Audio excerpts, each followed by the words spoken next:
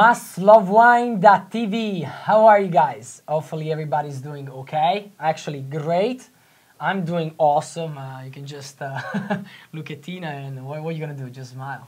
How are you, Tina, today? Good, wonderful. That's great.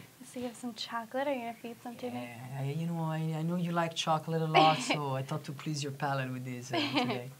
Uh, something fun, something different. We're gonna match some flavor to some wines, and I actually gonna tell you to do the same home, especially if you have friends home, a little party. It's something fun to do home, you know, and uh, entertain people. It's great. It's very simple. Uh, for example, get some vanilla sticks, some coffee beans, and some chocolate or cocoa powder, and that's all you need. That's all you need. And you're gonna be surprised how wine sometimes can be so close to food or spices or any kind of flavor or flour sometimes.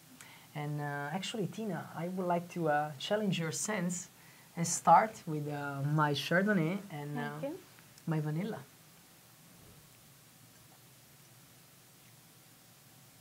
Always work. It's incredible. It is. You can, I can actually smell it. It's um, it's unbelievable how flavor sometimes can be so close. It's- and that's why a lot of people sometimes ask me, Berto, did they put vanilla into the wine? No, they don't put any vanilla into the wine. They don't put any coffee into the wine. They don't put any chocolate into the wine. It's just that the grape and the soil, they remind you so close to any particular mm-hmm. flavors, and it's just perfect. Perfect. It's beautiful vanilla sticks from Madagascar and beautiful Lawson Ranch from Monterey County, 2005. Great price, 12.50, $12.50, guys. Awesome, awesome Chardonnay. It's good to take to a BYOB. Exactly. Actually, that's what we're gonna do tonight, right? If your You boyfriend doesn't catch me. Second, I would like to um, you to smell the coffee beans and the second wine in sample, which is actually beautiful Cabernet Sauvignon, Nieto Senetiner, 2005. It's a beautiful reserve from Mendoza, Argentina. Again, a great area for winemaking and for price and quality. This is $10 bottle of wine, guys. You can't go wrong. And it's fun to do at home. Do it with your friends. They're going to be so surprised. It's unbelievable. It's What do you amazing how you can pull the scent out of the wine. Um, because you would always, I've I love wine, but I don't really know what's in it. So you would think you know it's only grapes, but And you know, but you can really people, smell the coffee and the vanilla. Right, right. and many people come to me, oh, like something that is some chocolate or coffee to it. That's the best way how to know what you like, and it's all about what you like. There's no ratings, no. It's your palate. It's everything on your taste.